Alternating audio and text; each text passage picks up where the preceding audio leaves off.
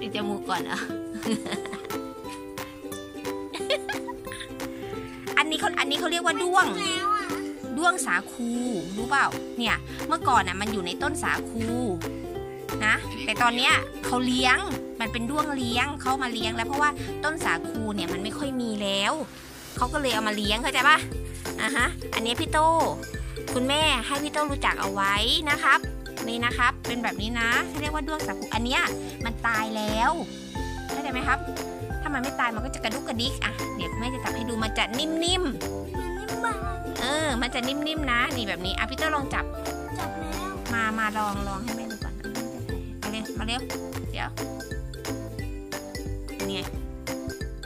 เป็นไงแค่อ่านอาบเกลืออะเป็นไงเร็วเร็วมามาดิมาเอาใหม่เอาใหม่นิ่มมากเอามาเดินลองอีกที มันไม่มีกระดูกนะต้องรู้เปล่า เนี่ยเออนี่รู้ไหมอันเนี้ยเนี่ยนี่จับแล้วเป็นยังไงบ้าง มันนิ่มๆใช่ไหมนี่อันนี้เป็นด้วงเลี้ยงไงเป็นไงประสบการณ์ใหม่ รู้จักด้วงสาคูมานี่แม่จับได้ไหมมันมันไม่อันตราย เมื่อก่อนมันอยู่ในต้นสาคูลูกนี่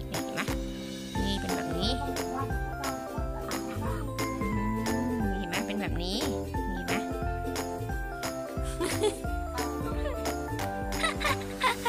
ไม่ได้เหม็นเลย